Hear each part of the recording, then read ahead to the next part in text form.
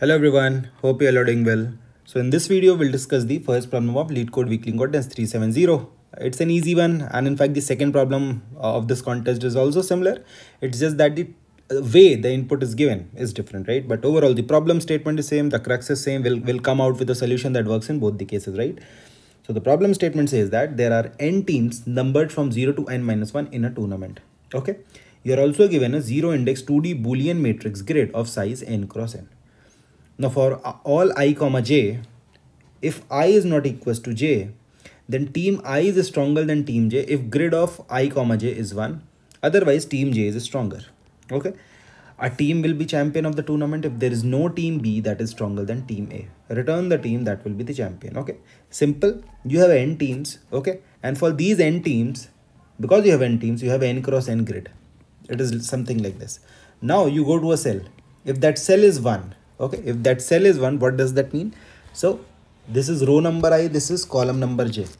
Okay it means that team number i sorry yeah it means that team number i is stronger than team number j if this value is 1 else team j is stronger than team i. Simple. That's the only information you are given. What do you have to do? You have to tell the champion of the tournament which team is champion a team is champion. If there is no team that is stronger than this team okay? Okay? That is not stronger. Let's see some of the inputs. This is 0 1 0 0 so team number 0 team number 1 team number 0 team number 1 what's the values in the grid? It's 0 1 and 0 0 now obviously you cannot compare team 0 with team 0 right? So that is why this value is 0 right? It says now i is not equals to j. Similarly 1 1 is not valid. Now what about 0 1 it says that 0 1 is 1 here right? This this cell value is 1 that means team 0 is stronger than team 1 great. What about this guy? It is 0 that means team 1 is weaker than team 0 hence team 0 is your winner. Simple stuff right? Let's see this example. Team number 0 team number 1 team number 2 0 1 2 this is 0 0 1 1 0 1 0 0 0 this is invalid this is invalid this is invalid. Now let's come here. What about 0 and 1 right? So it is something like this. 0 is weaker than 1 okay? So let me do one thing. How how we can approach this problem? Create a set. What are your valid teams? 0 1 and 2 okay? Parallelly i'll just tell you the intuition. That will make the problem very easy. 0 1 and 2 are my teams okay now 0 and 1, what is the relationship between 0 and 1? Team 1 is stronger, right? Because the cell value is 0. If the cell value would have been 1, team 0 would have been stronger, right? This is I, this is J, right? So this is 0. That means team 1 is stronger than team 0. Now, a team is champion of the tournament if there is no team stronger than A. So what do we mean? Initially, every team can be my winner. Okay, I don't know which, which team will be my winner. So what I do? As soon as I see a value, it tells me team 1 is stronger than team 0 that means team 0 cannot be champion right? Team 0 cannot be champion because at least one team is stronger than team 0 which is team 1 okay? So what i'll do initially this is my set. I'll just remove 0 because 0 now is not a valid team is not a candidate for a champion. Initially it was but now it is not okay? So i remove 0 from my set because uh, this guy is 0 okay? Now again this is 0 this is 2 it means that team 0 is stronger than team 2 right? Now in this case again my friends what happened? Team 0 has a has at least one team stronger than itself. So that means team 2 cannot be champion that's for sure. Remove 2 as well from the set okay? Now let's keep on traversing the array.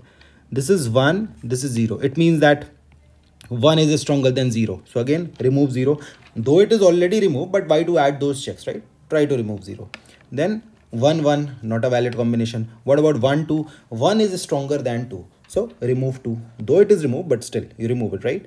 Then this is 2 team number 2 is stronger than team number 0 remove 0 team number 2 is stronger than team 1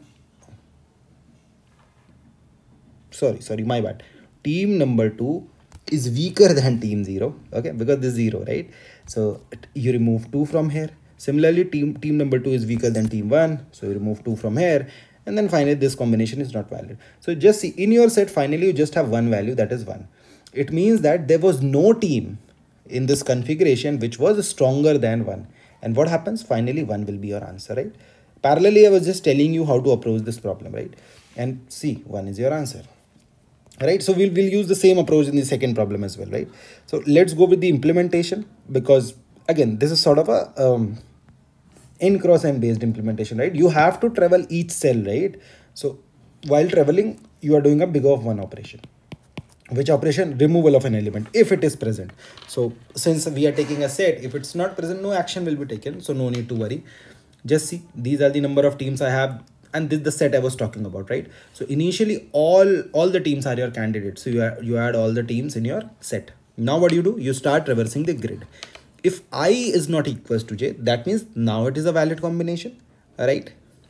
So acha, why do we need this check? Just think why do we need this check? Let me tell you. Suppose let's talk about the champion. In this case champion is team number one. If you do not add this check what will happen? Team number one and team number one. When you go here so that means this row number team is weaker than this column number team though it's it's it's an invalid statement but it means one is weaker than team one. Though it is invalid but code wise it will be like this. So what will happen? You will remove one from your set and hence you'll get you'll be getting wrong answer. So always consider the you know this configuration when i is not equals to j. And that is why it is given in the problem statement as well right? So if grid of i comma j is 1 that means i i just a second. I is stronger than j. That means j cannot be my champion so you remove j. Else i is weaker so you remove i when you do all this what happens you you are left with just a single element so I just take an iterator and I return that. Uh, let's name the variable champ and you just simply return it, right?